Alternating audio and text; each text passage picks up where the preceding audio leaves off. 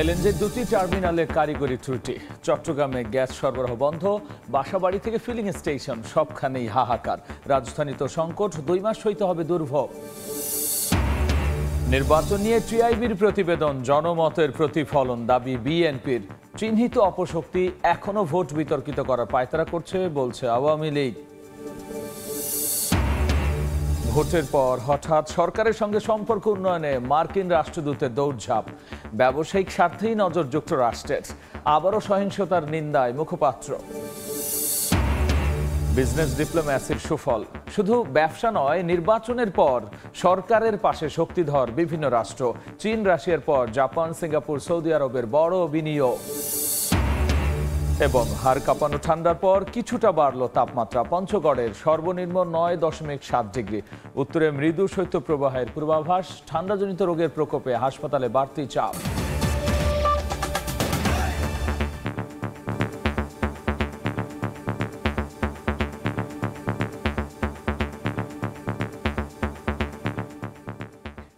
জনপদের সময় সঙ্গে আছি আমি গোলাম রাব্দি কারিগরি ত্রুটিতে এলএনজি সরবরাহ বন্ধ রয়েছে চট্টগ্রামে। বাসা বাড়ি থেকে ফিলিং স্টেশন সব জায়গায় এখন গ্যাসের জন্য হাহাকার।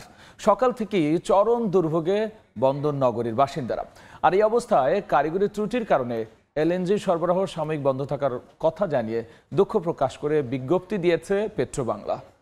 আশরাফুল আলম মামুনের ক্যামেরায় বিস্তারিত জানাচ্ছেন ফিরদৌস লিপি। বন্দরনগরী চট্টগ্রামে রিফুয়েলিং স্টেশনগুলোর সামনে হাজার হাজার যানবাহনে দীর্ঘ লাইন চলে গেছে কয়েক কিলোমিটার। শুধু এই সিএনজি স্টেশন নয় নগরীর সব ফিলিং স্টেশনের এখন এমন দশা। গ্যাস না পাওয়ায় সকাল থেকে ঘড়ি নেই গাড়ির চাকা। আমি রাত্রে তিনটা থেকে বসে আছি আমি গ্যাস পাচ্ছি না। গাড়ি চালাতে পারব না। আমাদের ইনকাম না থাকলে আমরা কীভাবে চলবো? একই অবস্থা নগরীর সব আবাসিক এলাকায়। সকাল থেকে জ্বলেনি বাসাবাড়ির চুলা ফলে বাধ্য হয়ে অনেকে মাটি চুলা দ্বারস্থ হয়েছেন। সকাল থেকে গ্যাস নাই বাধ্য হয়ে লাকড়ি চুলা ধরাইতে হয়েছে। আমরা এখন পর্যন্ত কিছু রান্না বান্না করতে পারতেছি না। মাসখানেক আগে একটি এলএনজি টার্মিনাল নষ্ট হয় আর সর্বশেষ বৃহস্পতিবার রাত সাড়ে নয়টার দিকে দ্বিতীয় টার্মিনালেরও ত্রুটি দেখা দিলে শুক্রবার থেকে চরম গ্যাস সংকটের মুখে পড়ে পুরো চট্টগ্রাম। দ্রুত সময়ে সংকট কাটিয়ে ওঠার চেষ্টা করা হচ্ছে বলে জানায় কর্ণফুলী গ্যাস ডিস্ট্রিবিউশন কর্তৃপক্ষ। কারিগরি ত্রুটির কারণে আপাতত গ্যাস সেবা বন্ধ আছে বিশ্বকঠিন কাজ করতেছে আর কি হ্যাঁ? ওনারা অলরেডি কাজ করতেছে চেষ্টা করে যাচ্ছে দ্রুত শেষ করার জন্য একসময় সাঙ্গু ও সেতুরাম গ্যাস ক্ষেত্র থেকে উত্তোলিত গ্যাস দিয়ে চট্টগ্রামের চাহিদা মেটানো হতো। পরে এই দুটি বন্ধ হয়ে গেলে দু হাজার আঠারো সালের পর থেকে পুরোপুরি আমদানি করা এলএনজি গ্যাসের উপর নির্ভর চট্টগ্রামের গ্যাস সরবরাহ ব্যবস্থা। আমদানি এলএনজির উপর নির্ভর হওয়ায় চট্টগ্রামের গ্যাস সরবরাহ ব্যবস্থা বছরে বিভিন্ন সময় বৈরী আবহাওয়া কিংবা টার্মিনালে নানা ত্রুটির কারণে মারাত্মকভাবে ব্যাহত হয়। বাণিজ্যিক রাজধানী হওয়ার পরও বিকল্প কোনো গ্যাস সরবরাহ ব্যবস্থা না থাকায় ক্ষুব্ধ এখানকার সাধারণ মানুষ। ফেদুস লিপি, সময় সংবাদ, চট্টগ্রাম। গ্যাস সংকট থেকে সহসাই মিলছে না মুক্তি। জ্বালানি বিভাগ বলছে, এলএনজির একটি টার্মিনালের রক্ষণাবেক্ষণ শেষ হলেও কারিগরি ত্রুটির কারণে মেরামতে পাঠানো হয়েছে, অপরটিও। ফারুক রবিন জানাচ্ছেন বিস্তারিত। সকাল কিংবা সন্ধ্যা দিনরাত গ্যাস সংকটে ভোগান্তি যেন এখনকার নিয়তি। চোলা জ্বালানোর প্রাণান্তকর চেষ্টা তবু জ্বলছে না আগুন। আমরা কষ্টের মধ্যে আছি না গ্যাস না থাকে যদি আমরা তাড়াতাড়ি রান্না খাই তো আমরা তাড়াতাড়ি কাজে যাইতাম শুক্রবার ছুটির দিনে সিএনজি ফিলিং স্টেশনগুলোতে যানবাহনের চাপ থাকে কম কিন্তু সংকটকালে এদিনও দেখা গেল লম্বা সারি। ঘরেও যেমন সংকট বাইরেও সেম সংকট। তিন ঘণ্টা বসে থাকা লাগে গ্যাসের সিরিয়াল দিয়ে। হঠাৎ কেন তীব্র গ্যাস সংকট? জ্বালানি বিভাগ জানালো, কারিগরি ত্রুটি দেখা দেয় এলএনজি টার্মিনাল রক্ষণাবেক্ষণে পাঠানোর কারণেই এই সংকট। একটি টার্মিনালের রক্ষণাবেক্ষণ শেষ হলেও ত্রুটির কারণে মেরামতে পাঠানো হয়েছে অপরটিও ফলে স্বাভাবিকের তুলনায় দৈনিক বাড়তি আরও চল্লিশ কোটি ঘনফুট গ্যাস ঘাটতি নিয়ে চলতে হবে আরও প্রায় দুই মাস। আরেকটা এফএসআরিও চলে যাবে, যেটা সামিটেরটা। ওটা আস্তে আস্তে মার্চের সাত তারিখ লাগবে। সো আমরা একটা মূলত এফএসআরি নিয়ে কাজ করতেছে এই জন্য একটু গ্যাসের স্বল্পতা। আমি বললাম এটা সাময়িক এটা হলো আমাদের এফএসআরির সমস্যার কারণে। তো আমি আশাবাদী মার্চের বারো পনেরো তারিখের মধ্যে আমরা মোটামুটি গ্যাসের সমস্যার সমাধানটা করতে পারব। তবে সংকটকালে উৎপাদনমুখী খাতে গ্যাস সরবরাহে অগ্রাধিকার দেওয়ার কথা জানান জ্বালানি প্রতিমন্ত্রী। আমরা মূলত দুটা জায়গা কনসেন্ট্রেট করছি একটা হলো ইন্ডাস্ট্রি প্রায়োরিটি বিদ্যুৎ প্রায়োরিটি এবং সার কারখানা। সংকটকালীন ধাক্কা সামলাতে দেশীয় গ্যাস উৎপাদন বাড়ানোর দিকে নজর দেওয়া হচ্ছে বলে জানায় পেট্রোবাংলা। তবে আপাতত সে পরিমাণও খুব একটা বড় আকারের হওয়ার আভাস মিলেনি। এলএনজি টার্মিনাল রক্ষণাবেক্ষণের কারণে দেশ জুড়ে যে জ্বালানি সংকট তৈরি হয়েছে সে সংকটের সহসাই সমাধানের পথ দেখাতে পারছেন না নীতি নির্ধারকরা। সেক্ষেত্রে গ্রাহককে চলতে হবে রয়ে শয়ে সাশ্রয়ী নীতি অবলম্বন করে। ফারুক ভিয়া রবিন, সময় সংবাদ, ঢাকা। টিআইবির প্রতিবেদন নিয়ে রাজনৈতিক অঙ্গনে উত্তাপ। নির্বাচন নিয়ে প্রতিষ্ঠানটির বিবৃতি, জনমতের প্রতিফলন বলছেন বিএনপির শীর্ষ নেতারা। বিএনপির প্রতিষ্ঠাতা জিয়াউর রহমানের আটাশিতম জন্মবার্ষিকীতে তার সমাধিতে শ্রদ্ধা জানিয়ে এমন মন্তব্য করেছেন বিএনপির নেতারা।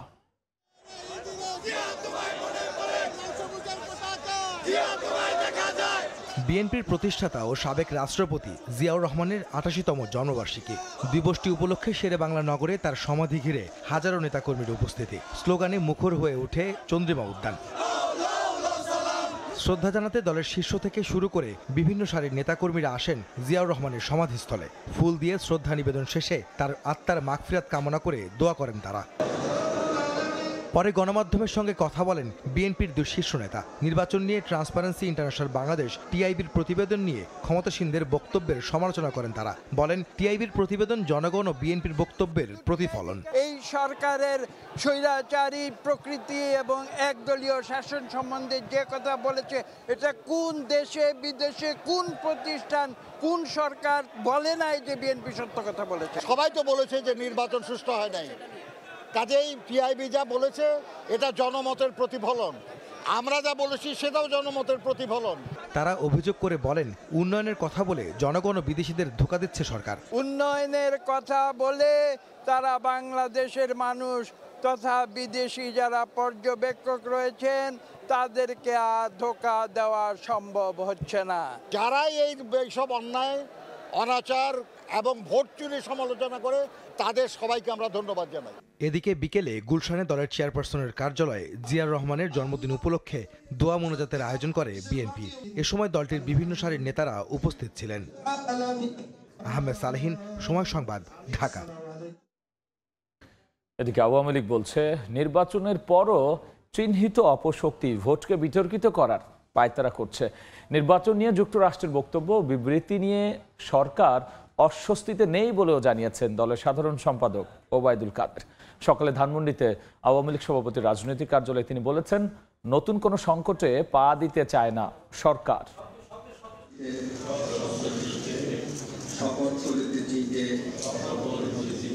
সাত জানুয়ারির নির্বাচনে জয়ী হয়ে টানা চতুর্থ মেয়াদে সরকার গঠন করে ক্ষমতাসীন দল আওয়ামী লীগ। সরকার গঠনের পর থেকে ভারত, চীন, রাশিয়া, ইউরোপীয় ইউনিয়ন সহ বিভিন্ন আন্তর্জাতিক সংস্থা ও প্রতিষ্ঠান শেখ হাসিনা সরকারকে অভিনন্দন জানায়।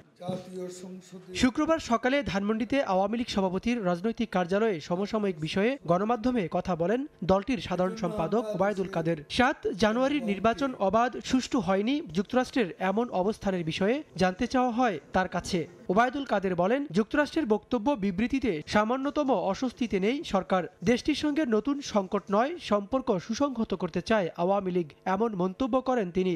সামান্যতম অস্বস্তি, আমরা স্বস্তিতে।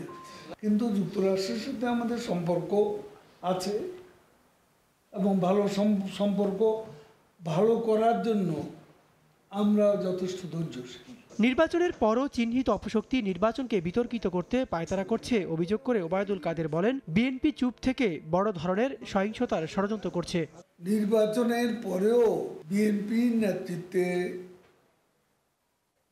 চিহ্নিত অপশক্তি নির্বাচনকে বিতর্কিত করা পায়তারা করছে হয়তো প্রস্তুত হচ্ছে বড় ধরনের সহিংস তৎপরতায় লিপ্ত হতে। সেজন্য হয়তো এটা তাদের ভিতর ভিতরে তারা প্রস্তুতি। বিএনপিকে নেতিবাচক রাজনীতি থেকে ইতিবাচক রাজনীতিতে ফিরে আসার আহ্বান জানান আওয়ামী লীগ সাধারণ সম্পাদক ওবায়দুল কাদের। বড় ধরনের সহিংস তৎপরতা। ওবায়দুল্লাহ মামুন সময় সংবাদ ঢাকা। এদিকে দ্বাদশ জাতীয় নির্বাচনে আওয়ামী লীগের নিরঙ্কুশ জয়ে দলের সভাপতি এবং প্রধানমন্ত্রী শেখ হাসিনাকে অভিনন্দন জানিয়েছেন বিভিন্ন দেশের রাষ্ট্র ও সরকার প্রধানেরা। টানা চতুর্থবারের মতো সরকার প্রধান নির্বাচিত হওয়ায় প্রধানমন্ত্রীকে অভিনন্দন জানিয়েছেন তুরস্কের প্রেসিডেন্ট রিসেফ তায়েফ এরদোয়ান। এছাড়াও কাতারের আমির Tamim bin Hamad Al Thani এবং কাতারের ডেপুটি আমির আবদুল্লাহ বিন হামাদ আল থানিও অভিনন্দন বার্তা পাঠিয়েছেন আওয়ামী লীগ সভাপতি শেখ হাসিনাকে। অভিনন্দন বার্তায় ঢাকার সঙ্গে সহযোগিতা অব্যাহত রাখার প্রত্যয় ব্যক্ত করেছেন তারা। এছাড়াও শেখ হাসিনাকে অভিনন্দন জানিয়েছেন কাতারের প্রধানমন্ত্রী ও পররাষ্ট্রমন্ত্রী। আবারও সরকার প্রধান নির্বাচিত হওয়ায় প্রধানমন্ত্রী শেখ হাসিনাকে অভিনন্দন জানিয়েছেন। সংযুক্ত আরব আমিরাতের উপরাষ্ট্রপতি ও প্রধানমন্ত্রী এবং দুবাইয়ের শাসক শেখ মোহাম্মদ বিন রশিদ আল মাকতুম।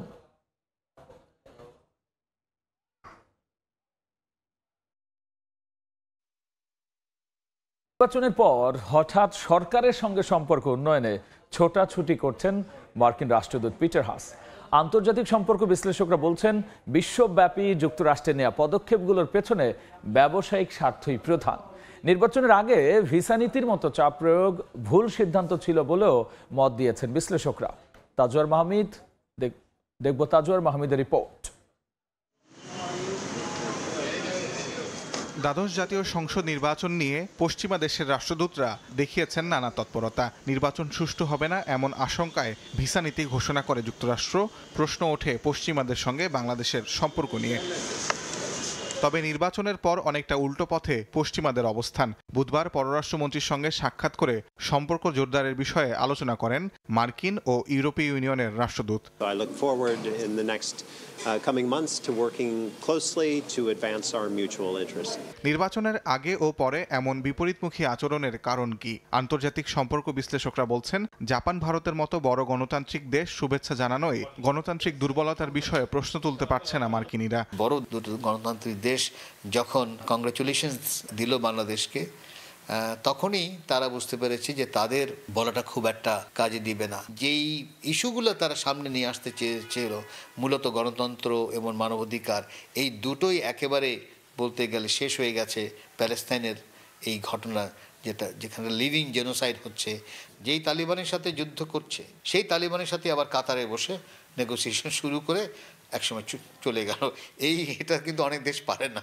এটা আমেরিকাই পারে। পাশাপাশি নতুন সরকারের সঙ্গে বিরোধ রেখে ব্যবসায়িক ক্ষতি করতে চায় না মার্কিনীরা। তারা ওরকম একটা ধারণা ধরে রাখে যে না এই সরকারের সাথে আমি কিছুই আনব না। তাহলে তো তাদের যেই ইনভেস্টমেন্ট আছে জাতীয় যে স্বার্থ আছে থাকে সেগুলো তো নষ্ট হয়ে যাবে। ফলে ভিসা নীতি প্রয়োগ বা বাণিজ্যিক নিষেধাজ্ঞা আসার সম্ভাবনাও কম বলে মনে করছেন বিশেষজ্ঞরা। তাদের পত্রিকাই বলছে যে পলিসিটা ভুল ছিল। তাজওয়ার মাহমিদ সময় সংবাদ ঢাকা। এক বছরের ক্ষমতাসীন আওয়ামী লীগের বিজনেস ডিপ্লোম্যাসি পুরো আন্তর্জাতিক মেরুকরণ পরিবর্তন করে দিয়েছে। ব্যবসায়িক সুবিধা পাওয়া চীন রাশিয়ার পাশাপাশি জাপান সিঙ্গাপুর সৌদি আরব এবং আরব আমিরাত দ্বাদশ জাতীয় নির্বাচনের পর বর্তমান সরকারের পাশে দাঁড়িয়েছে। সাক্ষর ত্রিপুর ক্যামেরায় দেখব কমনদের বিশ্লেষণ বিদেশি রাষ্ট্রদূত থেকে শুরু করে আন্তর্জাতিক বিভিন্ন সংস্থার শীর্ষ কর্মকর্তারা একের পর এক সাক্ষাতের মাধ্যমে চতুর্থবারের মতো প্রধানমন্ত্রী নির্বাচিত আওয়ামী লীগ সভাপতি শেখ হাসিনাকে অভিনন্দন জানিয়ে যাচ্ছেন। সবশেষ ইউরোপীয় ইউনিয়নের রাষ্ট্রদূত প্রধানমন্ত্রীকে অভিনন্দন জানিয়েছেন। অথচ এই দ্বাদশ জাতীয় সংসদ নির্বাচন নিয়ে আন্তর্জাতিক মহলে কম জটিলতা সৃষ্টি হয়নি। কিন্তু শেষ পর্যন্ত এসব বিদেশি দূতাবাস ও সংস্থার প্রধানদের আওয়ামী লীগের কাছাকাছি আনতে গুরুত্বপূর্ণ ভূমিকা রেখেছে সাম্প্রতিক সময়ের বিজনেস ডিপ্লোমেসি জাতীয় নির্বাচনের পরে যে স্থিতিশীলতার আভাস বিভিন্ন দেশগুলি পাচ্ছে সেই স্থিতিশীলতার আভাস থেকে কিন্তু তাদের আকর্ষণটা আমাদের প্রতি বাড়ছে। বিশেষ করে গত ছয় মাসের মধ্যেই শুধুমাত্র চট্টগ্রাম বন্দরের সঙ্গে ব্যবসার কাজে সম্পৃক্ত হয়েছে জাপান সিঙ্গাপুর, ডেনমার্ক, সৌদি আরব এবং আরব আমিরাত। এর মধ্যে মাতারবাড়ি গভীর সমুদ্র বন্দরে যেমন জাপান রয়েছে, তেমনি বঙ্গোপসাগর হয়ে অন্নফুলির মোহনার মতো গুরুত্বপূর্ণ স্থানে জেটি ও কন্টেনার ইয়ার্ডের কাজ করবে ডেনমার্ক এবং সৌদি আরব। আর বে টার্মিনালে অন্তত পাঁচ বিলিয়ন মার্কিন ডলার বিনিয়োগের প্রস্তাব নিয়ে এসেছে সিঙ্গাপুর এবং আরব আমিরাত। এই যে গুরুত্বপূর্ণ দেশগুলো, যারা সরাসরি বাংলাদেশের সাথে আপনার চুক্তি করছেন এবং আমাদের বিনিয়োগ করছেন এটা আমাদের দেশের জন্য সার্বিকভাবে আন্তর্জাতিকভাবে অত্যন্ত একটা শক্তিশালী পজিশন নিয়ে যাবে। অবশ্য চট্টগ্রাম বন্দরের পাশাপাশি রাজধানী ঢাকা সহ দেশের বিভিন্ন স্থানে সরকারের বেশ কটি মেগা প্রকল্পের সঙ্গে জড়িয়েছে ফ্রান্স, রাশিয়া এবং চীন সহ উন্নত দেশগুলো ঢাকায় মেট্রো রেলের অংশীদার, জাপান একই সঙ্গে হজরত শাহজালাল বিমানবন্দরের থার্ড টার্মিনাল পরিচালনারও দায়িত্ব পেতে যাচ্ছে। ঈশ্বরদীর রূপপুরে পারমাণবিক বিদ্যুৎ কেন্দ্রে রাশিয়ার বিনিয়োগ, আর ফ্রান্স থেকে বাংলাদেশ এয়ারবাস কিনবে তাও অনেকটা নিশ্চিত। অনেকগুলো দেশকে বাংলাদেশের উন্নয়নে শরিক হওয়ার যে একটা পদ্ধতি তিনি করেছেন তারই ফলশ্রুতি আমরা দেখতে পেয়েছি নির্বাচনের পরে। দেশের সামগ্রিক অর্থনীতিকে এগিয়ে নিতে চট্টগ্রাম বন্দর কেন্দ্রিক বিজনেস ডিপ্লোমেসির কোনো বিকল্প দেখছেন না বন্দর চেয়ারম্যান। মিডল ইস্ট ইউরোপ এশিয়ার গুরুত্বপূর্ণ দেশগুলো তারা কিন্তু ইতিমধ্যেই চট্টগ্রাম বন্দরের সাথে সরাসরি ফরেন ডাইরেক্ট ইনভেস্টমেন্টের মাধ্যমে বিনিয়োগের মাধ্যমে তারা কাজ করা শুরু করে দিয়েছে। তো এইটা আমাদের দেশের জন্য অত্যন্ত গুরুত্বপূর্ণ একটা বিষয়। এই বে টার্মিনাল দিয়ে শুরু হয়েছিল ক্ষমতাসীন আওয়ামী লীগ সরকারের বিজনেস ডিপ্লোমেসি মিশন। এরপর একে একে যুক্ত হয়েছে মাতার বাড়ি গভীর সমুদ্র বন্দর, পতেঙ্গা কন্টেনার টার্মিনাল, পতেঙ্গার লালদিয়ার চর। এখানে শেষ নয়। বন্দরের নিউ মুরিং কন্টেনার টার্মিনাল সহ আরও বেশ কিছু স্থাপনা এখনও বাকি রয়ে গেছে। যেখানে বিনিয়োগ করতে আগ্রহী মধ্যপ্রাচ্যের বিভিন্ন দেশ সহ ইউরোপের আরও কয়েকটি দেশ। বে টার্মিনাল থেকে কমল দে, সময় সংবাদ। তাপমাত্রা কিছুটা বাড়লেও কমেনি শীতের দাপট। সন্ধ্যা হলেই জেকে বসা শীতের তীব্রতা বাড়তে থাকে। দিন দিন বেড়েই চলেছে প্রান্তিক জনগোষ্ঠীর ভোগান্তি।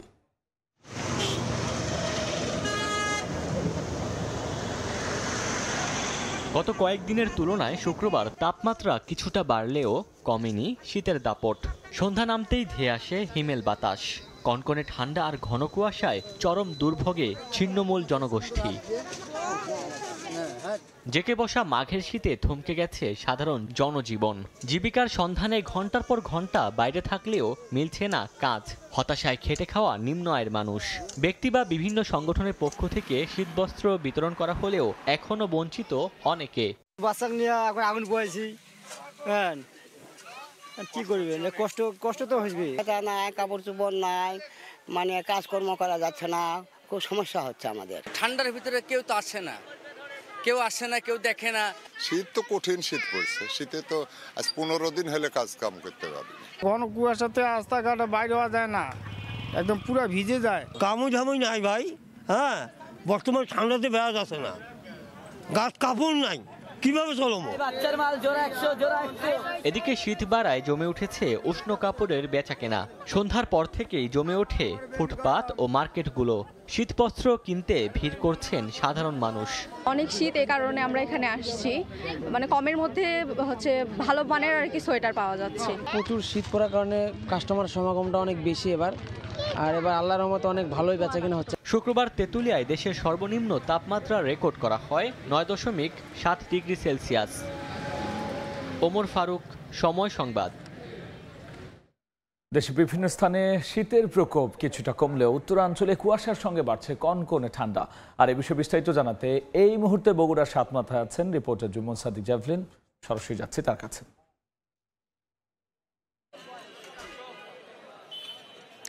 এই মুহূর্তে আমরা অবস্থান করছি বগুড়া সাতমাথা এলাকায়। আপনাকে জানিয়ে রাখি, আজকে কিন্তু মানে দীর্ঘদিন পর সূর্যের দেখা পেয়েছেন এলাকার মানুষ।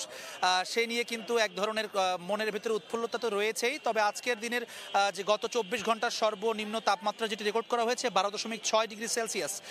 তবে সূর্য ডোবার পরপরেই কিন্তু আবার আমরা দেখছি আসলে যে বাতাস কিন্তু এখনও বইছে এবং শীত কিন্তু কিছুটা বেড়েছে সারা দিনের তুলনায় তারপরেও কিন্তু সেই শীত উপেক্ষা করে মানুষজন চলে এসেছেন, তারা এই পিঠা সহ অন্যান্য যে স্ট্রিট ফুড রয়েছে সেই খাবারগুলো কিন্তু তারা আসছেন এবং এখানে তাদের সেটি আসলে যারা ভোজন রসিক রয়েছেন তারা সেটি স্বাদ গ্রহণ করছেন। আপনারা দেখতে পাচ্ছেন যে ভাপা পিঠাগুলো রয়েছে, এটি কিন্তু একেবারে পনেরো টাকা থেকে শুরু করে একশো টাকা পর্যন্ত রয়েছে বিভিন্ন পর্যায়ের এবং এখানে যে হার্ট শেপের যে পিঠাটি লাভ পিঠা বলে তারা বিক্রি করছেন, সেটি একশো টাকায় বিক্রি হচ্ছে। দুই লেয়ারের গুড়, সাথে চালের আটা, এই, এবং এবং উপরে চেরি দিয়ে কিন্তু সুসজ্জিত করা। সব কিছু মিলিয়ে কিন্তু যারা পিঠাপ্রেমী রয়েছেন, তারা কিন্তু আসছেন এবং এখানে পিঠার স্বাদ তারা গ্রহণ করছেন। একই সঙ্গে বলতে গেলে যেই আধুনিক যে খাবারগুলো রয়েছে বা ফাস্ট ফুড যেগুলো রয়েছে, সেটিরও কিন্তু বেশ কিছু দোকান এই সাত মাথায় সেটি সন্ধ্যার পরে কিন্তু বসে। সেখানেও আমরা দেখছি আসলে মানুষজন ভিড় করছেন এবং শীতের দিনে এই ভাজা পোড়া খাবারগুলো কিন্তু তারা স্বাদ গ্রহণ করছেন। বার্গার থেকে শুরু করে চিকেন ফ্রাই কিংবা শ্রিম ফ্রাই সব কিছুই এখানে পাচ্ছেন। এছাড়াও যে সবজি রোল পুলি পিঠা, এই ধরনের খাবারও কিন্তু রয়েছে। এগুলো মোটামুটি হবে দশ থেকে বারো দশ থেকে পনেরো টাকা থেকে শুরু করে একশো, দেড়শো টাকার মধ্যেই কিন্তু এই নাস্তার যেই আইটেমগুলো সেগুলো এখানকার ক্রেতারা কিনতে পারছেন। এবং আমরা যারা ভাপা পিঠা বিক্রি করছেন, বিশেষ করে এটি একেবারেই মৌসুমি, অর্থাৎ শীতের সময়টাতেই কেবলমাত্র এটি তারা ব্যবসা করে থাকেন এই দু থেকে তিন মাস। তারা যেটি বলছেন, অন্যান্য বারের তুলনায় কিন্তু চালের দাম কিছুটা বেড়েছে, যে কারণে তাদের আগের বছরগুলোতে যেভাবে তারা আসলে মুনাফা করেছে সেই তুলনায় এখন মুনাফা কিছুটা কম করতে পারছেন বলে আমাদেরকে জানিয়েছেন। একই সঙ্গে গুড়ের যেই অপ্রতুলতা রয়েছে, খাঁটি গুড় কিন্তু বেশি দামে কিনতে হচ্ছে। সব কিছু মিলিয়েই গত বছরে যেটি তারা আট থেকে দশ টাকায় বিক্রি করতেন, এবারে তারা নিম্ন, সর্বনিম্ন পনেরো টাকা কিন্তু পিঠা বিক্রি করছেন। তো সব কিছু মিলিয়ে তারা কিন্তু এখন বলছেন যে শেষ পর্যায়ে এসে এই শীতের পিঠার বাজার জমজমাট হয়ে উঠেছে। তো এই ছিল আমার কাছে বগুড়া থেকে পিঠার সবশেষ খবর, ফিরছি স্টুডিওতে। চালের পাইকারি পর্যায়ে বস্তা প্রতি দাম চারশো টাকা বাড়ানোর পর চাপের মুখে মাত্র পঞ্চাশ টাকা কমানো হয়েছে। ব্যবসায়ীদের দাবি, ভরা মৌসুমেও উৎপাদনকারী মোকাম, বড় বড় মিলার ও কর্পোরেট প্রতিষ্ঠানের সিন্ডিকেটের কারণে চালের বাজার অস্থির। অনেক বিশ্বাসের ক্যামেরায় ফেরদৌস লিপি রিপোর্ট। ক্রেতাশূন্য চট্টগ্রাম নগরীর সবচেয়ে বড় চালের পাইকারি বাজার পাহাড়তুলি বাজার। সপ্তাহ দশেক আগে অস্থির হওয়া বাজারের কারণে বেচাকেনা ধসে অলস সময় কাটাচ্ছেন বিক্রেতারা। ব্যবসায়ীরা জানান নির্বাচনের পরপরই পাইকারি পর্যায়ে পঞ্চাশ কেজি চালের বস্তার দাম দুশো থেকে চারশো টাকা পর্যন্ত বেড়ে যায়। কিন্তু এখন মোকাম ও বাজারগুলোতে মাসখানেক আগে ওঠা অগ্রহায়ণ মাসের চাল থাকায় এমন অস্বাভাবিক দাম বাড়ার কোনো যৌক্তিক কারণ দেখছেন না পাইকারি ব্যবসায়ীরা। মজুদ আমার মনে হয় যথেষ্ট। এরপরও য- যৌক্তিক কোনো কারণ দেখছি না এইভাবে হঠাৎ করে দু তিনশো টাকা বেড়ে যাওয়ার। মার্কেটে খরিদ্দারও খুব কম। খুব কম। হঠাৎ করে যে রেট বাড়ছে এটা বাড়ার কথা না। এই মৌসুমে এটা বাড়ার কথা না। ভরা মৌসুমেও চালের বাজার এমন অস্বাভাবিকভাবে বাড়ার কারণ উৎপাদনকারী মোকাম, বড় বড় মিলার ও কয়েকটি কর্পোরেট কোম্পানিকে দায়ী করছেন পাইকারি ব্যবসায়ীরা। তবে দামের এই বৃদ্ধি নিয়ে সরকারি উচ্চ পর্যায় থেকে বিভিন্নভাবে চাপ আসলে কয়েকদিন ধরে সেদ্ধ চাল বস্তাপতি পঞ্চাশ থেকে ষাট টাকা পর্যন্ত কমেছে বলে জানান তারা। তবে এসব সিন্ডিকেটকে না ভাঙা হলে চালের দাম সাধারণের নাগালে আনা যাবে না বলে জানান পাইকারি ব্যবসায়ীরা। বাড়তি রেটের উপরে বর্তমান বাজারটা স্থিতিশীল। কিন্তু হয়তো এখন বেচা কিনে নাই মার্কেটে খরিদ্দার নাই চাইলের দাম কমবে কমবে এমন একটা ভাব দেখা যাচ্ছে।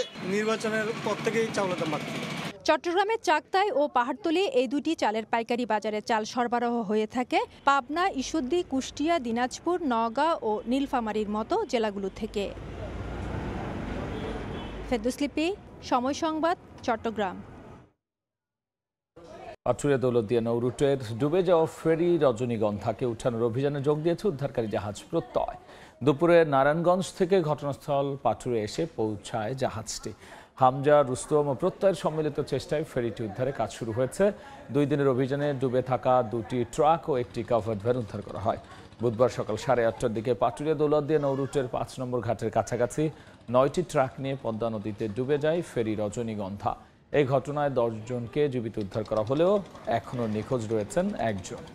মৌলভীবাজারে মিনিবাস, সিএনজি, অটোরিকশা মুখোমুখি সংঘর্ষে প্রাণ গেল দুইজনের আহত শিশুসহ ছয় জন। দুপুরে শেরপুর থেকে যাত্রীবাহী একটি সিএনজি, অটোরিকশা জেলা শহরের দিকে যাচ্ছিল। দুর্লভপুর এলাকায় বিপরীত দিক থেকে আসা একটি মিনিবাসের সঙ্গে অটোরিকশাটির সংঘর্ষ হয়। এতে দুমড়ে মুচড়ে যায় অটোরিকশাটি। ঘটনাস্থলে প্রাণ হারান অটোরিকশা চালক আব্বাস মিয়া ও যাত্রী মধু মিয়া। দেখছেন জনপদ সময়। জয়পুরহাটে রাতের আধারে গভীর নলকূপের পানি ছেড়ে দিয়ে আলুর ক্ষেত নষ্ট করেছে দুর্বৃত্তরা। অপরিপক্ক আলু তুলতে বাধ্য হচ্ছেন তাই ক্ষতিগ্রস্ত কৃষকরা। গতরাতে কালাই উপজেলার বেগুন গ্রামের জন কৃষকের প্রায় বিশ বিঘা জমির আলু গভীর নলকূপের দরজা ভেঙে মেশিন চালু করে অতিরিক্ত পানি ছেড়ে নষ্ট করে দিয়েছে আলু ক্ষেত। এ অবস্থায় নিরুপায় হয়ে অপরিপক্ক আলু তুলছেন তারা। চাষিদের দাবি, নির্ধারিত সময় প্রতি বিঘা জমিতে একশো থেকে একশো দশ মন আলু পাওয়া গেলেও বর্তমানে প্রতি বিঘায় মাত্র বিশ থেকে পঁচিশ মন আলু মিলছে। অন্যদিকে সেচ পাম্পের মালিকরা তাদের গভীর, অগভীর নলকূপ খোলা মাঠে রাখা নিয়েও পড়েছেন দুশ্চিন্তায়। দেখছেন জনপদের সময়। কনকনে শীত উপেক্ষা করেও কক্সবাজারে সাগর তীরে ভ্রমণ পিপাসীদের উপচে পড়া ভিড়। সাপ্তাহিক ছুটির দিনে প্রিয়জন কিংবা পরিবার পরিজন নিয়ে ছুটি এসেছেন তারা। পর্যটকদের নিরাপত্তায় সজাগ আছে লাইফ গার্ড সংস্থা ও ট্যুরিস্ট পুলিশও। মোহাম্মদ ফরাজের ক্যামেরায় সুজাউদ্দিন রুবেলের রিপোর্ট। শীতের সাগর নেই, ঢেউয়ের তীব্রতা। বাতাসে ভেসে বেড়াচ্ছে শত শত মানুষের আনন্দ উচ্ছ্বাস। যেদিকে তাকানো যায় সবখানে মানুষ আর মানুষ। পর্যটকদের পদচারণায় মুখরিত তিন কিলোমিটার সাগর তীর। সাপ্তাহিক ছুটির দিন। তাই অন্যান্য দিনের তুলনায় শুক্রবার ভ্রমণ পিপাসুদের আগমন বেড়েছে কয়েক গুণ। সৈকত পাড়ে এসে নোনা জলে সমুদ্র স্নানের পাশাপাশি মেতেছেন ঘোড়ার পিঠে জেডিস্কি কিংবা বিচ বাইকে আর প্রিয় মুহূর্তগুলো বন্দি করছেন ক্যামেরার ফ্রেমে কক্সবাজার বিচে এসে ঘোড়ায় না উঠলে তো আসলে অসম্পূর্ণ থেকে যায়। যার জন্য এই ঘোড়ায় উঠলাম আর কি। চমৎকার পানির অনুভূতি বা কি বলব বলার ভাষা নেই। হয় নাই আগে কখনো এরকম সবাই একসাথে এরকম আসা এই প্রথম হইল আর ভালোই লাগতেছে। সৈকতের কলাতলি সুগন্ধা ও লাবণী পয়েন্টে মানুষের উপচে পড়া ভিড়। তবে এসব পয়েন্টে রয়েছে বেশ কিছু বিপদচিহ্ন। তাই সমুদ্র স্নানে কর্মীদের নির্দেশনা মেনে চলার পরামর্শ লাইফগার্ড সংস্থার। আমরা সব সময় পর্যটনের পর্যটকদের উদ্দেশ্যে বলে থাকি লাল হলুদ পতাকার মাঝখানেই আপনারা সুইমিং করুন।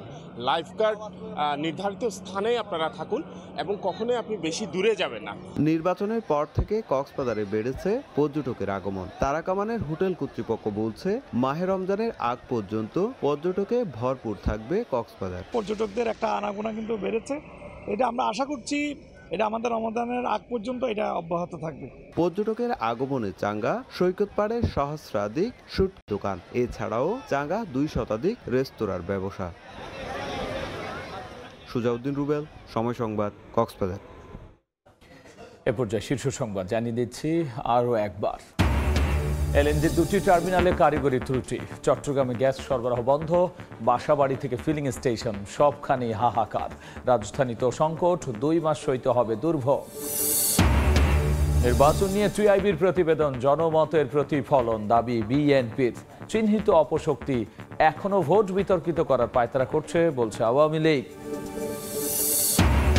এবং হাড় কাঁপানো ঠান্ডার পর কিছুটা বাড়ল তাপমাত্রা। পঞ্চগড়ে সর্বনিম্ন নয় দশমিক সাত ডিগ্রি। উত্তরে মৃদু শৈত্য প্রবাহের পূর্বাভাস। ঠান্ডাজনিত রোগের প্রকোপে হাসপাতালে বাড়তি চাপ। এই ছিল জনপদের সময়। এরপর রাতের সময় নিয়ে কিছুক্ষণ পর ফিরছি আমি। সঙ্গেই থাকুন সময়।